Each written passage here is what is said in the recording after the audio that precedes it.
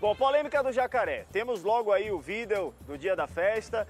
Não vou aqui dizer que bebeu, que não bebeu, não tenho imagem disso, não entro na seara pessoal da vida dele. Mas a pergunta é: atrapalha o rendimento de um atleta de alta performance perder noite, ir para uma festa, sendo que tem treino no outro dia? Não sou eu o especialista, Fábio, mas os especialistas dizem que sim. Né? E a gente, no dia a dia, a gente sabe, em qualquer ofício, que se a gente vai fazer um trabalho no dia seguinte e a gente perde noite, o trabalho é comprometido. Isso. Né? Se a gente trabalhar sentado, já acontece isso. Então você imagina você trabalhar com alta performance, com alto rendimento do seu corpo.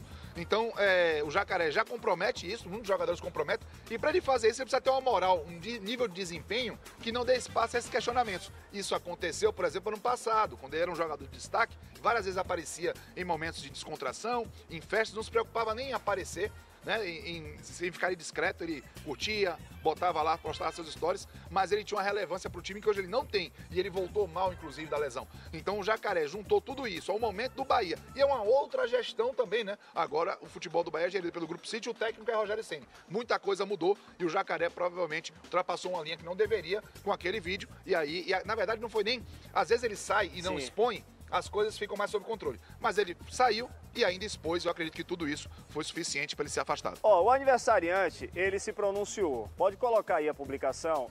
E aumentou a polêmica, porque ele diz: Oxe, o cara tá fora do horário de treino e de jogo e tem que ficar preso dentro de casa. Fora do profissional dele, ele não pode ter mais uma vida pessoal e social.